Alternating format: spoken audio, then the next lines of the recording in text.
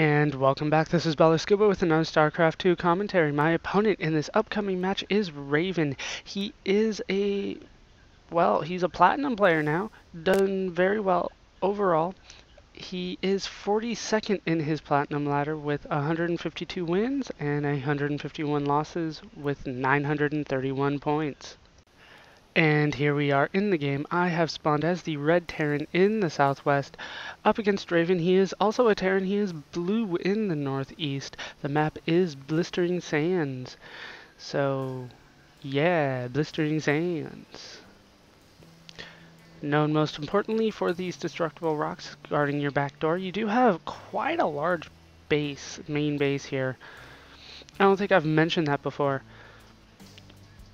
I have mentioned though that when I played against a Zerg player that I felt that it was kind of small, but that was really just bad placement of my buildings. Building placement is important in this game. Not not this match, you know, StarCraft 2 in general. Building placement is important.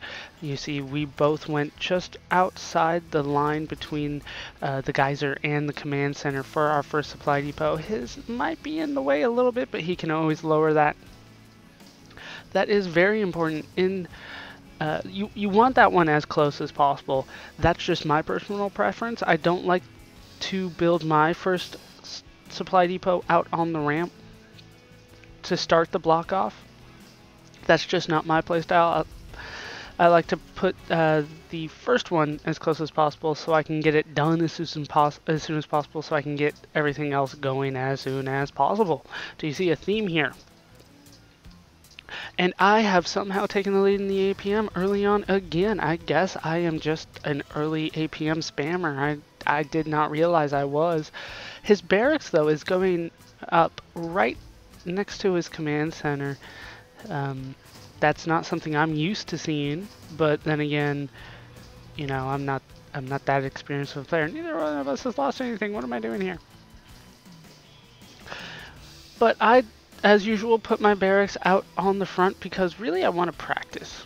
It's always good to practice. I don't complete the block off, but I always get that barrack there just to so I can, you know, remind myself how far away the reactor has to be or the tech lab has to be in order to for it not to move, but still for it to be a complete block off. I do want to keep that in mind. His barracks is up before mine because it is closer, let's face it. And his first Marine is out, starting to do some damage to my SCV. He will not survive. I'm calling that right now. Dead. There he goes. Orbital Command almost done. His his early game is better than mine, but he has instantly gone into a two gas with four SCVs. Interesting. And as a result, well, he did supply lock himself too, so I should be able to catch up here. Oh, a quick factory is on the way. Meanwhile, I am going for my second barracks along with a reactor on the first barracks. Reactor as well on his first barracks, but that factory is scaring me. I am going for my third barracks now. So once again, three racks, just my standard opener now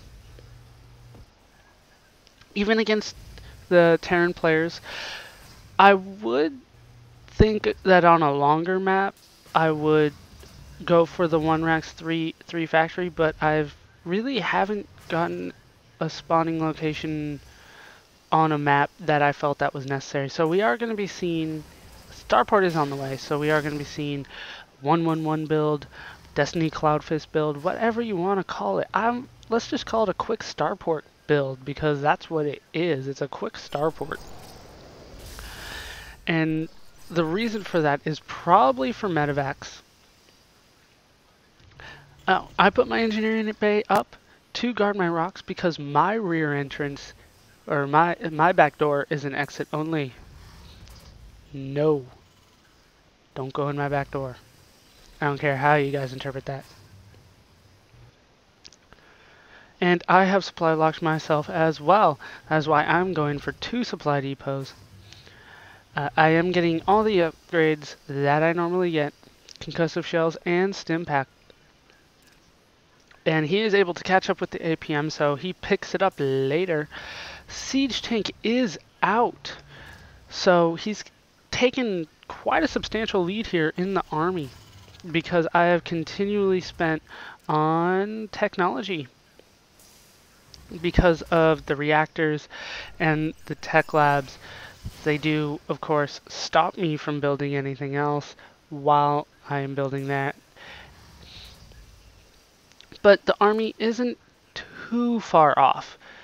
I have two Marauders, basically, versus his... Oh, another one spawned out. So now they are different, and he, he definitely took the lead. But I have more people, and that counts for something, doesn't it? People!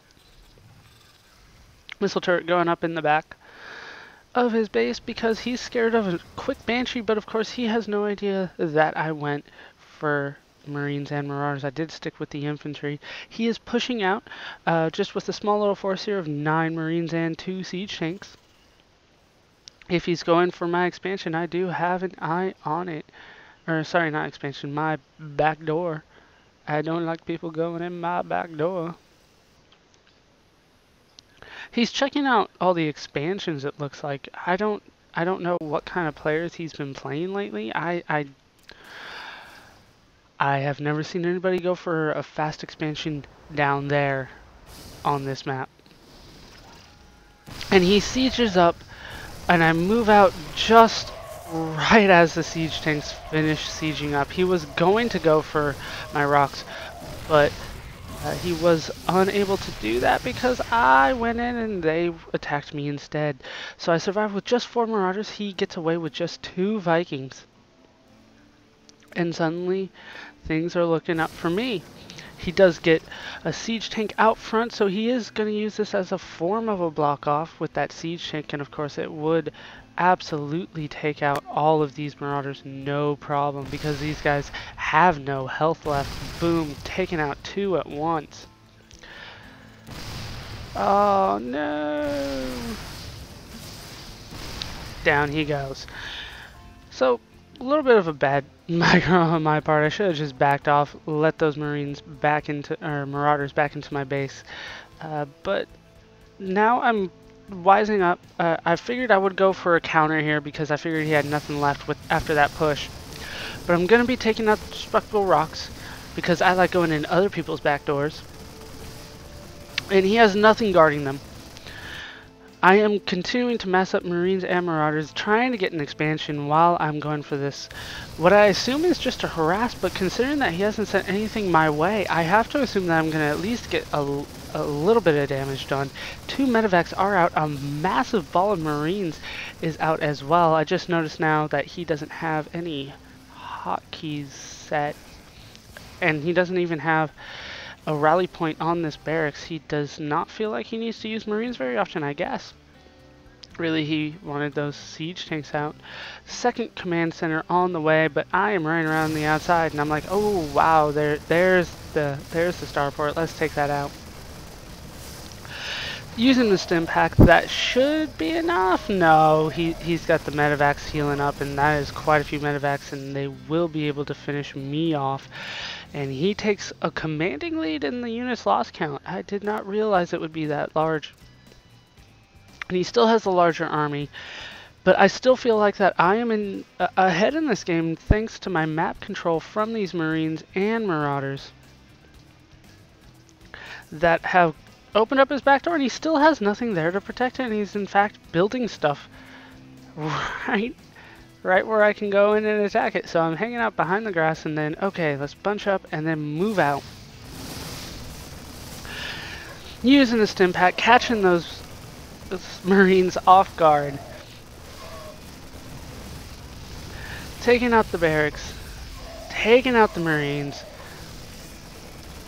Don't see the siege tank. It gets two shots off it looks like before I figure it out.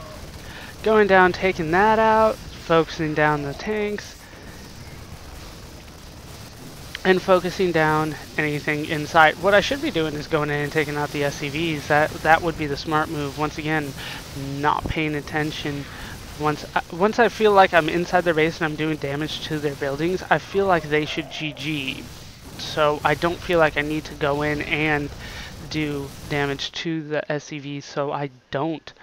but that's the game. So really, it, it doesn't matter what kind of tech that you can get early in the game. If I go for an eight or nine minute push and you're unable to finish it off off of one base, you're not going to be able to to rebuild everything that you have. He actually has a ton of minerals and gas completely unspent. Let's look at what I have. I have, well, I still have a lot, but I won. So there.